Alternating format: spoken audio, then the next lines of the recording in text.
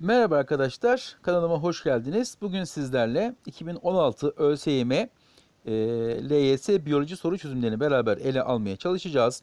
Birinci sorumuzla başlayacak olursak, işaretli kükürt e, içeren bir besi ortamında çoğaltılan bakterilerden elde edilen 1-2-3 moleküllerinin hangilerinde işaretli kükürt bulunması beklenir diye sorulmuş.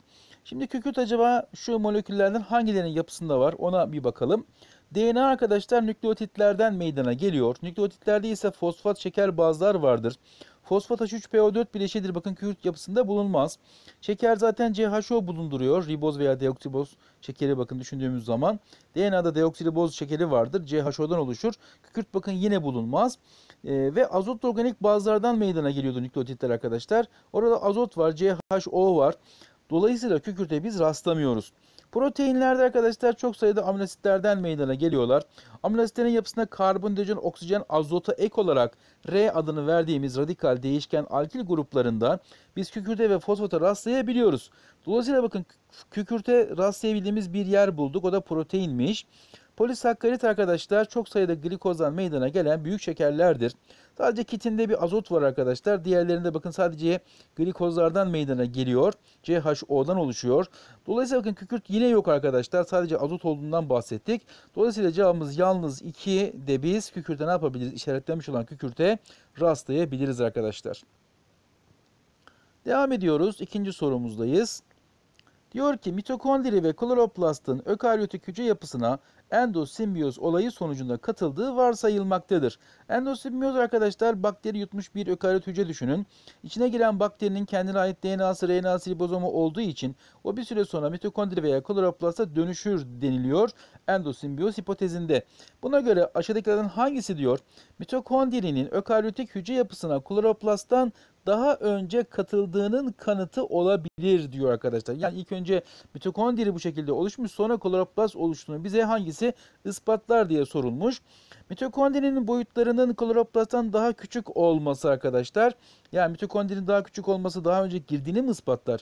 Böyle bir şey söz konusu değil zaten arkadaşlar. Böyle bir şeyde kanıt olamaz. Mitokondrinin 2 zarlı, kloroplastın 3 zarlı olması zaten kloroplast 3 zarlı değil bir defa. Aynı zamanda öyle bir şey olsa bile yine bu da arkadaşlar mitokondrinin daha önce girdiğini canlı hücrelere oluştuğunu ispatlamaz. Mitokondrinin hücre içindeki sayısının göreceli olarak daha fazla olması ihtiyaca göre arkadaşlar mitokondri sayısını artırmış olabilir. Bu da bakın daha önce oluştuğunu yine ispatlamayabilir. Fakat D şıkkında mitokondrinin ökaryotik canlıların hepsinde bulunması. Ama kloroplast ise bakın yalnızca bazı bitkilerde ve bazı bir hücreli canlılarda bakın bulunması arkadaşlar onun e, sonradan meydana geldiğini bize az çok ispatlayabilir. Çünkü mitokondri bakın ilk önce girmiş ki bütün canlılarda görülmüş ama ökaryotlarda görülmüş. Fakat kloroplast daha sonradan meydana gelmiş ki bazıları bakın buna sahip olabilmiş diye düşünebiliriz. E şıkkında ise fotosentez sırasında kloroplastta üretilen oksijenin mitokondri tarafından kullanılabilmesi bu iki organelin birbirini tamamlayıcı unsura sahip olduğunu bize ifade eder. Mitokondride solunumla üretmiş olduğu karbondioksiti bu şekilde kloroplasta vererek fotosentezi meydana getirmesinin e, aynı hücre içerisinde bakın sağlayabilir arkadaşlar. Bu ikisini birbirini tamamlayan organel anlamına gelir. Mitokondrinin daha önce oluştuğunu bize yine ispatlamaz. Bundan dolayı cevabımızı denizli olarak buluyoruz. Üçüncü sorumuzdayız. Tabloda K ve L canlılarına ait bazı özellikler verilmiştir. Buna göre diyor bu canlılarda işte bunların özellikler artı bulunmayanlar ise eksiyle gösterilmiş. Buna göre K nedir L nedir canlı olarak diye sorulmuş arkadaşlar. Şimdi bakıyoruz K canlısında plazmit DNA'sı varmış arkadaşlar. Bakın ayırt edici unsurlar bunlar. Sadece prokaryotlarda biz plazmit DNA'sına bakın rastlayabiliyoruz arkadaşlar. E, ve endospor bakın oluşturmuş. Endospor oluşturan ise prokaryotadan sadece bakteriler endospor oluşturabiliyor. O zaman K canlısı arkadaşlar bakteri olarak bulunur. Yani cevap ya Ceyhan ya da Edirne olmalı. L'ye bakalım ya küf mantarı pardon ya maya mantarı ya da alg olmalı arkadaşlar. Bakıyoruz L canlısına plazmit zaten olmamalı. Ökaryot çünkü bunlar. Fotosentez yapıyormuş. Evet arkadaşlar bakın fotosentez yapıyorsa bu bir mantar olamaz. Alg olmalı. Cevap edin olarak bulunur ama yine de bakalım isterseniz. Oksijenli solunum evet ökaryottur yapabilir arkadaşlar ve mitokondri ökaryot olduğu için bulundurabilir. Zaten oradan eleyemiyormuşuz çünkü maya mantarı da ökaryottur. Ama fotosentez bakın yapma olayıyla biz bunun mantar değil alg olduğunu direkt anlayabiliyoruz. Dördüncü sorumuzdayız. Hücre zarından madde taşınmasıyla ilgili hangileri doğrudur diye sorulmuş. Oksijen gazdır arkadaşlar. Hücre zarından daima pasif taşıma yani difüzyonla geçiş yapabilir. Hücre zarının iki tarafında derişim farkına sahip olan her madde kolaylaşmış difüzyonla geçiş yapabilir. Arkadaşlar kolaylaşmış difüzyonla yağda erimeyen BC vitaminleri ile glikoz, amino asit, yağ asiti, gliserol gibi organik monomerler bakın geçiş yapabilirler. E, gazlar, yağda eriyen veya eriten moleküller arkadaşlar lipid tabakadan geçiş yaparlar. O zaman biz her maddenin bu şekilde bu yolla alınacağını iddia edemeyiz.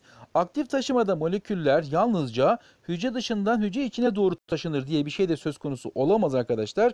Aktif taşıma olayı e, monomer düzeyindeki moleküllerin içeri veya dışarı çift yönlü taşınmasını sağlar enerji harcanarak. Dolayısıyla cevabımız doğru olarak yalnız bir olarak bulundu. Beşinci sorumuzdayız. Tabloda canlılarda ATP elde edilen bazı süreçler 1, 2, 3 ile gösterilmiştir diyor. Buna göre e, ATP elde edilen süreçler hangisine doğru eşleştirilmiştir diye sorulmuş arkadaşlar. Bakıyoruz bir nolu süreçte oksidatif fosforilasyon varmış. Arkadaşlar oksidatif fosforilasyon varsa bu oksijensiz solunum ve oksijenli solunum veya oksijenli solunum olabilir. E, fakat son elektron alıcısının bakın oksijen olması bunun oksidatif fosforilasyon e, yapan bu e, solunum tarzının oksijenli solunum olduğunu biz arkadaşlar ispatlamış olur. Çünkü oksijensiz solunumda son elektron alıcısı bakın kükürt gibi, fosfat gibi bakın farklı e, moleküller olma durumunda oluyorlar. Dolayısıyla birincisi oksijenli solunum yani aerob solunum olarak bulunur. Zaten bir tane şık varmış arkadaşlar. Başka da yokmuş. Cevap direkt C olmalı. Bakın buradan bile elemiş oluyoruz ama diğerlerine bakalım isterseniz. Substrat düzeyinde fosforilasyon arkadaşlar bütün solunumların ortak özelliğidir. Çünkü bütün solunumların glikoliz evresi vardır. Glikoliz evresinde ise substrat düzeyinde fosforilasyon gerçekleşir. Bir de Krebs döngüsünde arkadaşlar biz substrat düzeyinde fosforilasyona rastlıyoruz. Ve son elektron alıcısı bakın aset aldehitmiş arkadaşlar. E, glikolizin son ürünü olan pürüvat, tan, karbondioksit çıkışı gerçekleşerek oluşan ara ürün asetaldehittir. Nerede? Etil alkol fermentasyonunda açığa karbondioksitle bakın çıktığını bize bu şekilde ispatlamış oluyor. Ve asetaldehit arkadaşlar daha sonra NADH'ların hidrojenlerini, elektronlarını alarak ne yapmış oluyor? indirgenmiş ve etil alkole dönüşmüş oluyor arkadaşlar. O zaman e, iki nolu solunumumuz bizim etil alkol olmalı. 3 ise bakın son elektron alıcısı direkt olarak arkadaşlar pürüvattır. NADH'ların hidrojen ve elektronlarını alarak doğrudan laktik asite bakın ne yapıyor? E, pürüvat e, hidrojenleri elektronları alarak indirgenerek dönüşmüş oluyor. Bundan dolayı cevabımız Ceyhan olarak bulundu. Devam ediyoruz. Altıncı sorumuzdayız. Bir miktar üzüm suyu içerisine yeterli miktarda bira mayası. Bira mayası bir hücreli mantardır arkadaşlar. Ama bakın mantar olduğu için ökaryot olduğunu unutmuyoruz. Gerekirse oksijenli solunumla bakın yapabilir. Fakat burada ortam oksijensiz bırakılmış. Yani bunun fermentasyon yapması sağlanmış. Bazı moleküllerin miktarındaki değişimler ise 1 ve 2 ile gösterilmiş arkadaşlar. Bize bu 1-2'nin ne olduğu sorulmuş. Şimdi bira mayası oksijensiz ortamda etil alkol fermentasyonu gerçekleştirir. Yani arkadaşlar artacak olan şeyimiz bizim ya karbondioksit olmalı ya da etil alkol olmalı. Yani bir arkadaşlar 2 e, ile gösterilen e, grafiğimiz ya etil alkol olmalı ya da karbondioksit olmalı arkadaşlar. Ve azalan azalan molekülümüz arkadaşlar CO2 olamaz. A şıkkı gitti. Etil alkol de bakın artıyor dedik ama glikoz ne yapabilir bu süreçte? Azalarak solunumla kullanılarak arkadaşlar etil alkol ve karbondioksit bakın dönüşebilir. Cevap Edirne olarak bulundu. Devam ediyoruz. 7. sorumuzdayız. Fotosentez sırasında su molekülü aşağıdaki gibi ayrışır fotoliz olayı ile. Buna göre 1, 2, 3 ile numaralandırılmış olan elemanlardan hangileri diyor? Fotosentezin ışıktan bağımsız tepkimelerinde kullanılacak moleküllerin sentezinde işlev görür. Arkadaşlar fotosentezin ışıksız evrelerinde kullanılacak olan moleküller NADPH ve ATP'dir arkadaşlar. Elektronlar, elektronların enerjisiyle biz ATP'nin bu esnada ışıklı evrede üretildiğini, hidrojenlerden ise bakın NADPH molekülünün bu şekilde NADP'nin hidrojeni alarak indirgenerek NADPH'e bakın dönüştüğünü ve bu ikisinin arkadaşlar ışıktan bağımsız tepkimelerde besin üretiminde kullanıldığını söyleyebiliriz. Ama bakın şu açığa çıkan oksijen gazı arkadaşlar atmosfere verilerek atmosferin oksijen miktarı artırılmış olur. Dolayısıyla 1 ve 2'nin biz ışıksız evrede görevli olacak olan molekülleri üreteceğini düşünebiliriz. Devam ediyoruz. 8. sorumuz şekildeki insanda dişi üreme sisteminin bazı kısımları numaralarla gösterilmiştir arkadaşlar. Diyor ki normal menstruasyon döngüsünde önce dokusu kalınlaşan, kılcal damarları genişleyen, kan damarları, kan miktarları ve mukus salgısını artıran, döllenme gerçekleşmediğinde ise kalınlaşmış olan bu dokusunun parçalanarak dışarı atılan yapının hangisi olduğu soruluyor arkadaşlar. Bakın şu görmüş olduğunuz uterus dokusu e, östrojen hormonunun etkisiyle kalınlaşır arkadaşlar. Folikül evresinin başında. Eğer gebelik olmaz ise e, yumurta artıklarıyla bakın beraber buradaki e, uterustaki artıklar dışarıya menstrual periyotta atılmış olur. Buna dolayı cevabımız Ceyhan olarak bulunur arkadaşlar. Devam ediyoruz. Dokuzuncu sorumuz. Hangisi diyor hayvan hücrelerinde hücre döngüsünün mitoz evresinde gerçekleşmez? Arkadaşlar interfaz olaya hazırlık. Mitoz evresi ise çekirdek bölünmesi ve sitokinezi ne yapıyor? İçeriyor idi. O zaman mitoz evresinde kromozomların kutuplara çekilmesi, ipiklerin oluşması, e, profazda bakın gerçekleştiriliyor ciddi manada. Sentrozomların birbirine uzaklaşması e, yine profazda bakın gerçekleştiriliyor. İpiklerin kinetokorlara bakın bağlanması arkadaşlar profazda gerçekleştiriliyor. Ama DNA'nın kendini eşlemesi interfaz olayında meydana gelir. Mitotik evrede değil arkadaşlar bakın interfaz evresinde olduğu için cevap deniz olarak bulunur. 10. sorudayız. Diyor ki şekildeki biyokütle piramidine göre hangisi söylenemez diyor arkadaşlar. Üreticilerin toplam kütlesi, evet biyokütle, birinci tüketicilerin toplam kütlesinden fazladır. Evet en alttaki bakın basamaktaki canlıların toplam ağırlığı daha fazladır arkadaşlar. Üçüncü tüketiciler biyolojik birikiminin en fazla olduğu en üstteki tabakadaki canlılar oldukları için arkadaşlar en fazla bakın zehir birikimi bunlarda gerçekleşmiş oluyor. Bir trofik düzeyden bir üst düzeye geçerken aktarılan enerji arkadaşlar ısıyla e, ve e, sindirilmeyen artıklar dışkı şeklinde enerji kaybı söz konusu olacağı için bu şekilde enerji azalmaktadır. İkinci tüketicilerin birey sayısı üreticilerden daha azdır. Yukarıya doğru arkadaşlar biz birey sayısının azaldığını söyleyebiliriz. Ama en büyük vücuda sahip bireylerin her zaman piramidin tepesinde yer aldığını arkadaşlar iddia edemeyebiliriz. Mesela insan arkadaşlar, insan hem etçil hem otçuldur. Yani üçüncü tüketicidir arkadaşlar. Ee, birinci tüketici olan, otçul olan bir inek düşünün bakın. İneğin vücudu mu daha büyüktür? İnsanın kim arkadaşlar? Demek ki her zaman için bu şekilde bir kural söz konusu olamayabilir. Buna dolayı cevabımız Edirne olarak bulunur. Evet 11. sorumuz doğadaki azot döngüsündeki denitrifikasyon, defol nitrifikasyon yani nitratın gaz olarak atmosfere geri dönmesi olayı arkadaşlar hangisinin gerçekleşmesini sağlar demiş. Amonyaktan nitrit oluşumu, nitritten nitrat oluşumu nitrifikasyon olayıdır arkadaşlar. E, amonyağın bakın bitkilerin kullanılacağı azotlu tuza bakın dönüşme serüvenidir burası. Atmosferdeki azotun bazı bakterilerce bakın siyanobakteri gibi, lizobiyum gibi arkadaşlar bakın bağlanması azot fiksasyonu olayıdır. Bitkilerin suda çözünen azot tuzlarını alması artık nitrifikasyondan sonra oluşan azot tuzlarına bakın bitkilerin kökleriyle kullanılması durumudur arkadaşlar. Fakat atmosfere bakın gaz haline tekrardan şu azot tuzlarının bir kısmının çözünerek verilmesi arkadaşlar olayı defol nitrifikasyon adını verdiğimiz denitrifikasyon adını alan olaydır. Cevap Ceyhan olarak bulunur. Aşağıda verilen canlılar arasındaki ilişkilerden hangisi mutualizme yani mutlu yaşama örnek oluşturmaz diyor arkadaşlar. Mutlu yaşamda ne vardı? Her iki canlının karşılıklı birbirinden faydası vardı arkadaşlar. O zaman A şıkkına bakıyorum. Su ve minerallerin üzerinde yaşadığı elma ağacından sağlayan ökse otu. Şimdi elma ağacından su ve mineral çekiyor arkadaşlar. Yani onun kısileminden hazıra konuyor. Kısileminden mineral ve suyu kendine çekiyor. Yani yarı parazit arkadaşlar bu ökse otu. O zaman bu mutlu yaşam olamaz ki. Elmaya zarar veriyor. Elma ağacına zarar veriyor. Onun mineral ve suyuna ortakçı oluyor arkadaşlar. Cevap adan olarak bulunur.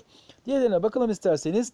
Geviş getiren memelilerin işkembesinde yaşayan ve selülozu sindirimini meydana getiren mikroorganizmalar. Evet selülozu sindiriyor, hayvana katkı sağlıyor. Kendisi de üretmiş olduğu bu parçalanma sonucunda glikozların bir kısmına el koymuş oluyor. Ama sonuçta hayvanın sindiremeyeceği selülozu sindirdiği için buna katkı sunduğu için arkadaşlar mutlu yaşama girer.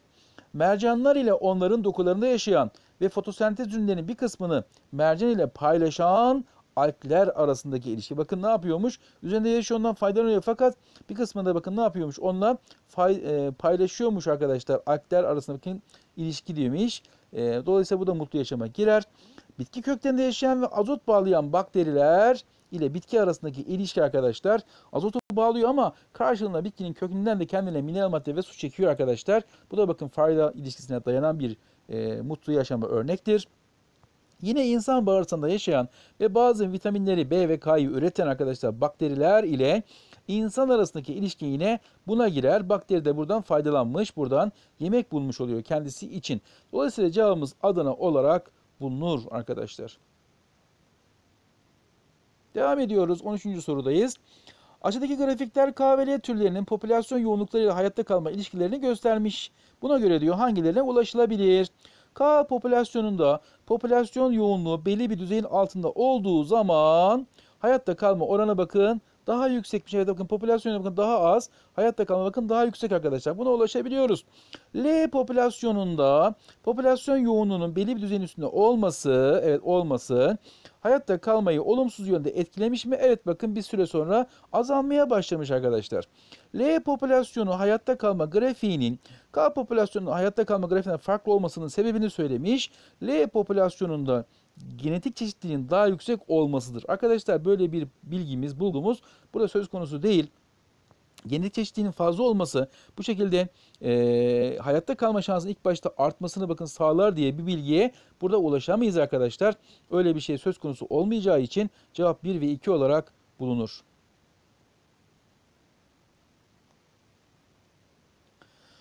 Eşeğli üremeyle çoğalan otsu bir çiçekli bitkiyle ilgili. Bakın otsu tek yıllık arkadaşlar bir çiçekli bitki. Neler olabilir? Arkadaşlar domates, biber, patlıcan, mısır, e, buğday, bakın arpa olabilir arkadaşlar. Bunlar bakın tek yıllık çünkü. Hangisi yanlıştır demiş. Açık tohumlu olabilir. Arkadaşlar açık tohumlu olan çam, ladin, ardış gibi e, çalılar ve ağaçlar arkadaşlar çok yıllıktır. Odun sudur. Açık tohumlarda hiçbir şekilde biz ot suya rastlamayız. Cevap Adana bakın yanlış olmalı. Tek çenekli monokotil olan bir mısır olabilir arkadaşlar.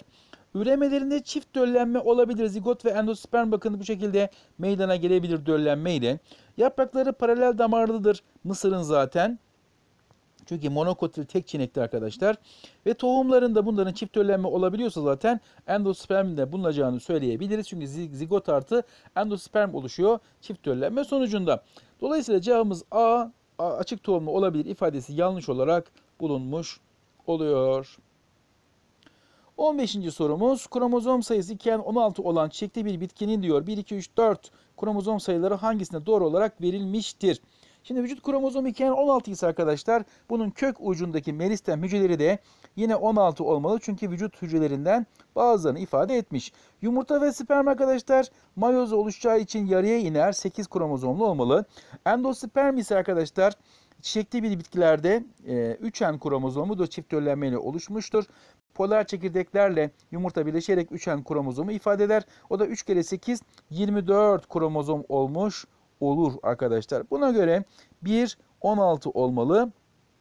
2 3 8 olmalı. 1 16 2 3 8 olmalı. 4 ise arkadaşlar 24 kromozomu ifade etmeli diyoruz.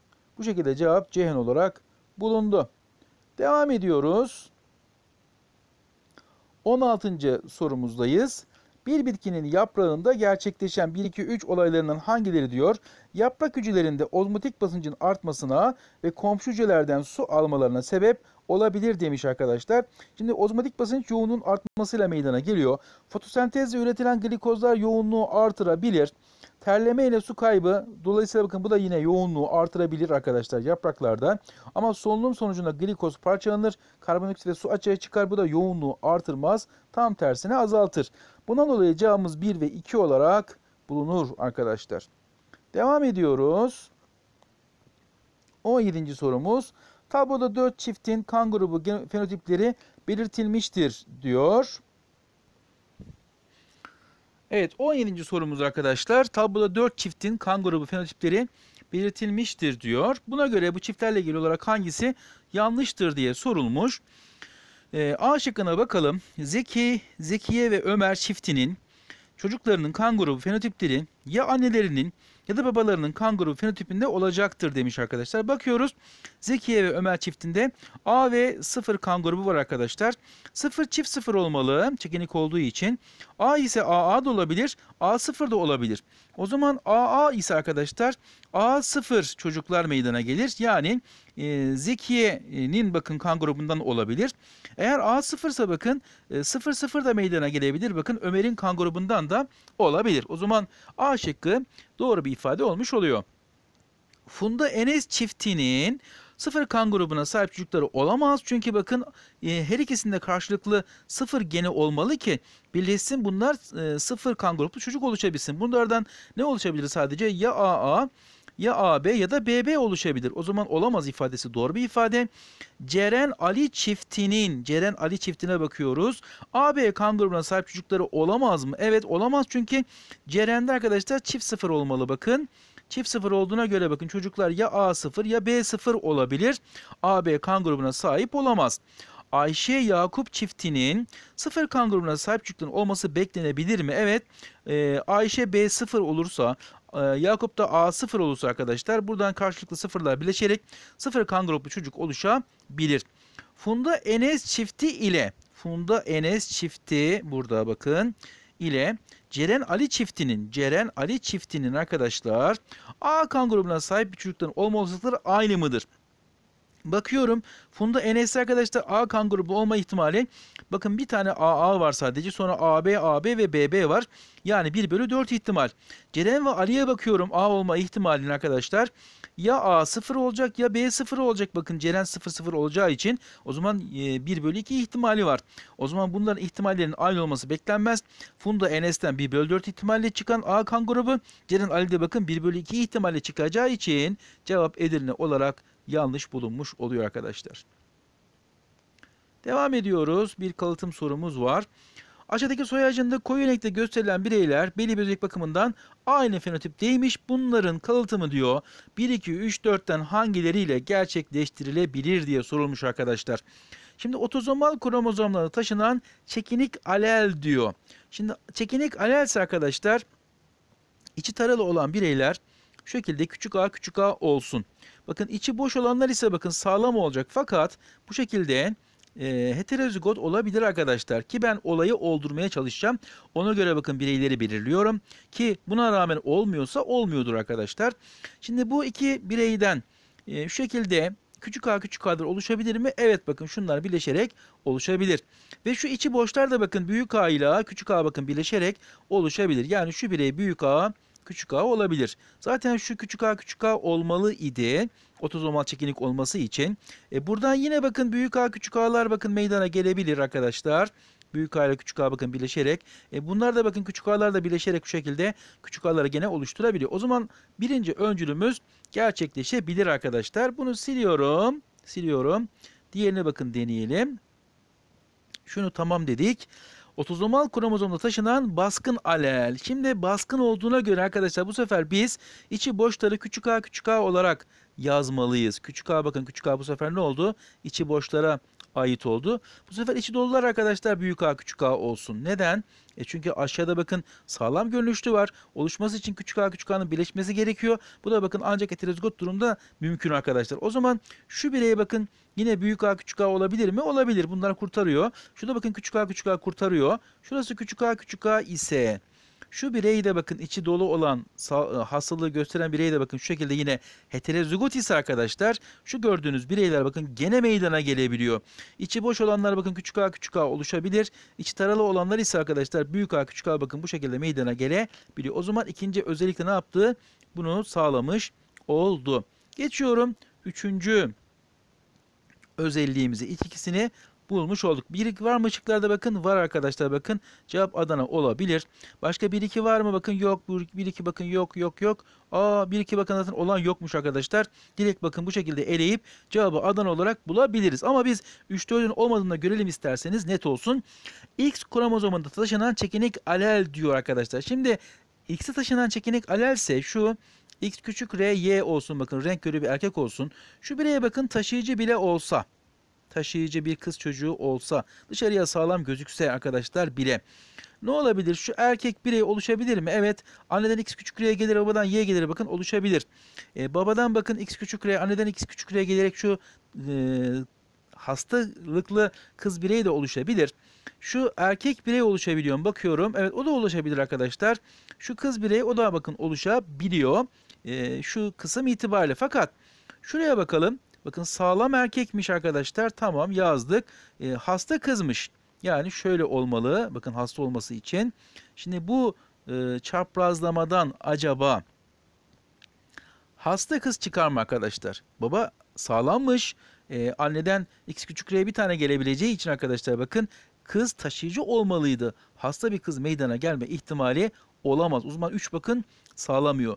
Dördüncü sağlamadığında görelim arkadaşlar. İçimiz rahat olarak ne yapalım? Diğer sorumuza geçmiş olalım. X kromozomuna taşınan baskın alel mi? Şimdi bakıyorum baskın olması için bu sefer X büyük A, Y olmalı. Şu ise bakın sağlamsa X mecburen X küçük A, X küçük A olmalı ki sağlam görünüşlü bir kız çocuğu olabilsin arkadaşlar. Şimdi buradan bakıyoruz, bakıyoruz. Ee, şu kız çocuğu oluşabilir mi? Evet babadan x büyük a gelip anneden x küçük a gelerek bakın oluşabilir arkadaşlar. Erkek oluşabilir mi? Erkek arkadaşlar anneden x küçük a geleceği için babadan da bakın e, y geleceği için arkadaşlar bakın ne yapıyor? Sağlam bir erkek çocuk oluşabilir sadece. Hasta bir erkek bakın meydana gelemez. Bakın bir tanesinin olamaması bunun olamayacağını bize ne yapıyor? Ispatlamış oluyor. Buna dolayı cevabımız 1 ve 2 Adana olarak bulundu arkadaşlar. Devam ediyorum. Eşeğli üremenin görüldüğü bir popülasyonda A ve B genleri farklı özellikleri kontrol ediyormuş. Bu genlerin her birinin üçer tane aleli de mevcutmuş. A1, A2, A3, B1, B2, B3 olarak. Ve bu popülasyonda bu iki genin oluşturacağı kaç farklı genotipe rastlanabilir diye soruluyor arkadaşlar. Şimdi 3 farklı çok alelik bakın kuralını hatırlayalım. 3 farklı genle kontrol edilse bile her defasında bunlardan ikişer tanesi yan yana gelebiliyor. Yani A1 A1 ile A1 A2 ile A1 A3 ile A2 A2 ile A2 A3 ile A3 A3 ile bakın yan yana gelebiliyor. Yani bakın 6 tane bakın genotip saydım arkadaşlar. Bunun kuralı da vardı. Ee, 3 çarpı yani alel gen sayısı çarpı onun bir fazlası bölü 2 bakın arkadaşlar e, oluşacak olan genotip çeşidini ortaya çıkartıyordu. 12 ee, bölü 2'den 6 çeşit bakın A'dan meydana gelir. Yine B'den de 6 çeşit bakın meydana geleceği için arkadaşlar bunları çarparsanız toplam 36 çeşit bir toplam genotipe ne yapabiliriz? Bu bir e, olarak arkadaşlar çeşitlilik olarak rastlayabiliriz diyoruz. Devam ediyorum. 20. sorumuz ökaryotik hücre içerisindeki bilgi akışının DNA'dan RNA ve polipeptit yani protein yönünde olduğu biliniyormuş. Aşağıda bir DNA molekülü ile üzerinde yer alan ve birbirinden bağımsız olarak çalışan iki tane gen bölgesel olarak gösterilmiştir. Buna göre diyor bu DNA molekülü üzerinden bilgi akışıyla ilgili hangileri doğrudur demiş arkadaşlar.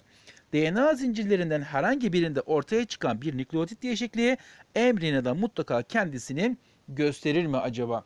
Şimdi arkadaşlar DNA zincirinin herhangi birinde ortaya çıkan bir nükleotit değişikliğinin embriyonada mutlaka kendini göstermesi için her defasında aynı zincirden embriyona üretilmesi gerekmekte. Fakat anlamlı zincir değişebileceği için arkadaşlar böyle bir şey net olarak söyleyemeyebiliriz. Kural olarak genlerin birinde meydana gelen bir mutasyonun diğer genin kontrol ettiği protein sentezini etkilemesi beklenmez. Evet çünkü her gen farklı bir protein çeşidi üretiyor. Burada meydana gelen bir mutasyon arkadaşlar burayla bir ilgi e, sahibi olmayabilir. Bir nolu zincir bu genlerin her ikisinin de şifrelediği proteinler için anlamlı zincir olarak görev yapar mı acaba? Yani her defasında anlamlı zincir arkadaşlar birin zincir mi olur? Öyle bir durumumuz söz konusu olamaz arkadaşlar.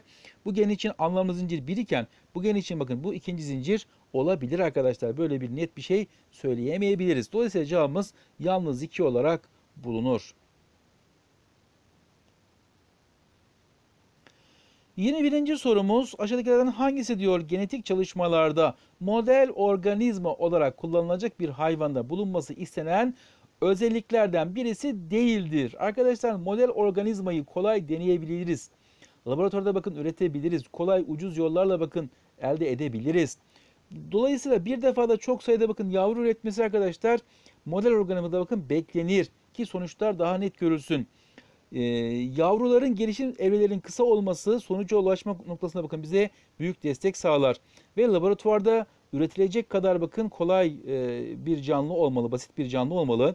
Üzerinde çalışma yapmaya da elverişli olmalı ki deney yapabilelim arkadaşlar. Fakat bu canlının yeni döl verme süresinin uzun olması arkadaşlar e, yapılacak olan deneylerin sonucunun uzun sürede ortaya çıkması anlamına gelir. Bu da model organizma için beklenen bir durum için söz konusu olmayabilir. 22. sorumuzdayız. İnsan sindirim sisteminde işlev gören 1-2-3 hormonlarından hangileri 12 parmak bağırsağından salgılanır demiş arkadaşlar. Gastrin mideden salgılanan bir hormondur. Ee, ince bağırsakla bakın e, ilgisi yok. 12 parmak bağırsağı ince bağırsağın başlangıç kısmıdır. Ama sekretin ve kolesterol hormonları arkadaşlar pankreası, karaciğeri ve safrayı uyaran e, ince bağırsağın 12 parmak bağırsağında salgılanan iki tane hormondur. Dolayısıyla cevabımız 2 ve 3 olarak bulunur.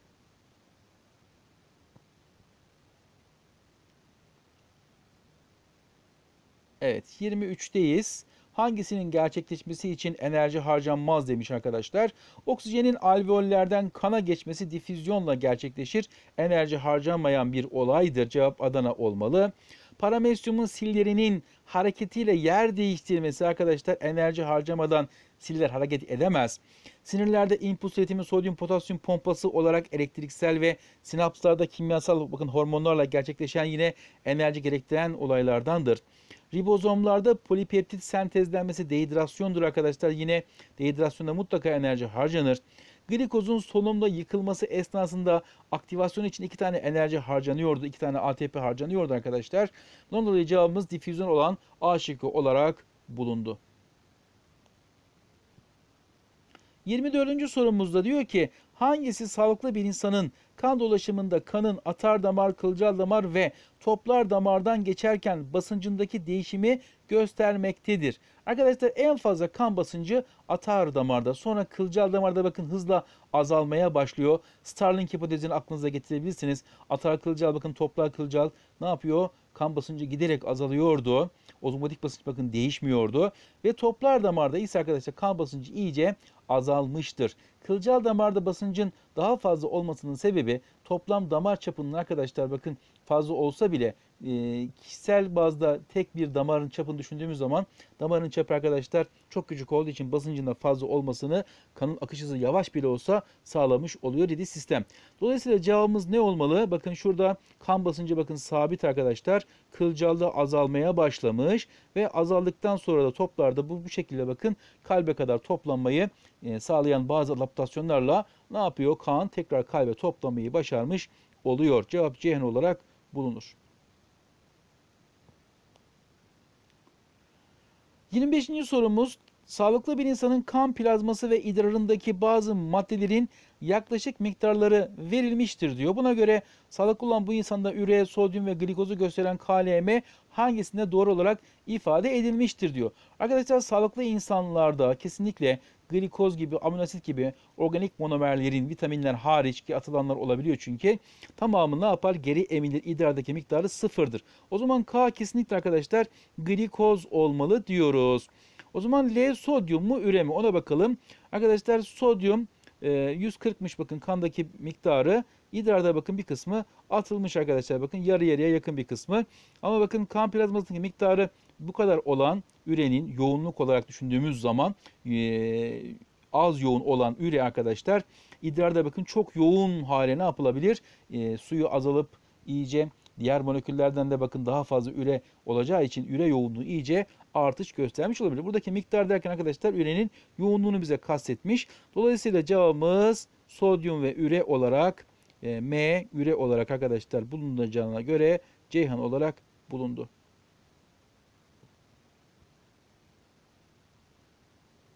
...26. sorumuz bir kasabada 1940 yılında meydana gelen kızamık salgınından 50 yıl sonra bir kızamık salgını daha meydana geliyormuş ve birinci salgında hastalığı geçirip hala yaşayanlar meymiş ve aşılanmış kişiler ise bakın neymiş arkadaşlar? İkinci salgında hastalığa yakalanmamışlar. Buna göre diyor M ve N gruplarının ikinci salgına karşı göstermiş olduğu bağışıklık tipleri hangisinde doğru verilmiştir diye sorulmuş. Arkadaşlar bu her ikisi de M hastalığı geçirmiş olarak ne ise arkadaşlar aktif bağışıklık sağlayan aşılanma yöntemiyle ne yapmıştır? Kendilerini aktif bağışıklık hale getirmişlerdir. Zayıflamış veya ölmüş mikrobu alarak vücutlarına bu e, hastalığı ne yapmışlar? Tanımışlardır arkadaşlar. Onun için cevap Adana olarak bulunur. 27. sorumuzdayız. Hayvanlarda gözlenen 1, 2, 3, 4 durumlarından hangileri diyor? Davranışlarından hangileri içgüdüsel davranışlara örnektir. Yani içeriden geliyor genlerin kodlamasıyla oluşmuş olan arkadaşlar davranışları sormuşlar bize. Bal arılarının bulundukları buldukları besinin kovana göre konumunu diğer arılara bildirmek için vücut dansları yapması. Arkadaşlar bunlara kimse bu dansları öğretmiyor. Bunlar doğuştan var arkadaşlar. Arılar belli bir süre sonra bu dansları yapmaya başlıyorlar. O zaman bu ikiyüzsel davranışa bir örnektir. Bir yaşındaki çita yavrularının anneleriyle birlikte katıldıkları üçüncü avda bakın üçüncü defa ava katıldıktan sonra ceylan yakalamaya başlıyor. İlk ikisinde bakın başarısız oluyorlar. O zaman burada bir öğrenme süreci var. Doğuştan gelmiyor. Bir bahçe örümceğinin böcek yakalamak için türe özgü bakın türüne özgü bir ağ örmesi. Bakın bu içten gelen bir şeydir arkadaşlar. Yeni doğmuş bir geyik yavrusunun ayağa kalkar kalkmaz annesini emmeye çalışması doğuştan gelir arkadaşlar. Yoksa nereden bilecek doğar doğmaz annesini emmesi gerektiğini? Cevap 1, 3, 4 olarak bulunmuş oluyor. Evet bir refleks sorumuz ve kas sorumuz arkadaşlar. Diyor ki şekilde gösterilen kolun ok yönünde hareket etmesini sağlamak için iki farklı kasta A ve B kaslarında kasılma sorusuymuş. Refleks değil özür dilerim. Ve motor sinirlerde 1 ve 2 gerçekleşen olaylar için hangisi doğru verilmiştir diye sorulmuş arkadaşlar. Şimdi bu esnada A kası kasılıyor, B kası gevşiyor. Bunlar birbirine antagonist e, yani zıt çalışan kaslardır arkadaşlar. O zaman A kasının kasıldığı B kasının gevşediği bakın sadem iki tane şıkkımız var. Diğerlere bakın uygun değil arkadaşlar. Motor 1 ne olur? Motor 2 ne olur? Bakalım şimdi. Motor 1 arkadaşlar bakın A kasına gelen sinire bakıyoruz. Bu motor 1'miş arkadaşlar. Bakın dikkatle bakarsak bakın motor 1'miş. O zaman A kası kasıldığına göre arkadaşlar motor 1 ne yapılır? Uyarılmış olur. O zaman motor 2'de bakın gevşemeyi sağlayacağına göre inhibe olur. Uyaramaz ki gevşeme meydana gelmiş olsun. Cevap Adana olarak bulundu. 29. İnsanlarda paratiroid bezi tarafından salgılanan paratormon işlevlerinden birisidir demiş arkadaşlar. Paratormon kandaki kalsiyumu ne yapıyor? Artırıyor. Yani kemik dokudan kana kalsiyum geçişini uyarma işine yapıyor. Cevap bu olmalı. Boşaltım sistemi yoluyla kalsiyumun atılmasını uyarma. Arkadaşlar kandakini artırmaya çalışıyor, atmaya çalışmıyor. Bunu kalsitonin bakın yapabilir eğer fazla bir kalsiyum var kemiklere geçiremiyorsa. Sodyum, potasyum metabolizmasını bakın düzenleme arkadaşlar. E, sodyum klorürün gerelimini sağlayan aldosteron hormonu vardı arkadaşlar. Bakın böyle bir şey söz konusu olamaz. Kanın ozmotik basıncını azaltma arkadaşlar. Bu da ADH hormonu e, böbreklerden suyun geri emimi bakın sağlayarak meydana getirdiği bir olaydır. E, bu da bu- buna ait bir şey olamaz. Böbreklerden sodyum eminimini uyarma arkadaşlar. Sodyum potasyum demiştik biraz önce. Sodyum klorür demiştik. Dolayısıyla bu da e, arkadaşlar aldosteron hormonu ile ilgili bir durum olacağı için cevap Adana olarak bulundu. Son sorumuza bakacak olursak bir popülasyonda küçük A alelinin frekansının bir süre sonra değiştiği görülmüş. Artış veya azalma görülmüş olabilir. Buna göre diyor e, aşağıdaki etkenlerden hangisi buna neden olamaz, olmamıştır diyor arkadaşlar. Göçler olabilir. Bu frekans bakın değişikliğine yol açabilir arkadaşlar. Doğal seçilim bakın yani güçlüler yaşar güçlüler bakın ölür meselesi bakın bu frekansın seçilmesine yol açmış olabilir. Mutasyonlar bakın yine A e, alenin frekansına bakın değiştirmiş olabilir. Bazı bireylerin daha fazla yavru meydana getirmesi arkadaşlar bakın bu da yine A, aleni, A alenin frekansına bakın değişiklik meydana getirmiş olur. Eğer hep bu alele sahip olan bireyler çok çiftleşmişse daha çok yavru yapmışsa bakın bu frekansın değişmesine yol açabilir. Fakat rastgele çiftleşme olayı arkadaşlar zaten doğada meydana gelmesi gereken bir e, normal süreçtir. Bunun biz frekansı değiştireceğini çok da iddia edemeyebiliriz. Bunun dolayı cevap Bursa olarak bulunur. Evet bir dahaki derslerimizde soru çözümlerimizde görüşmek üzere hepinize iyi çalışmalar diliyorum arkadaşlar.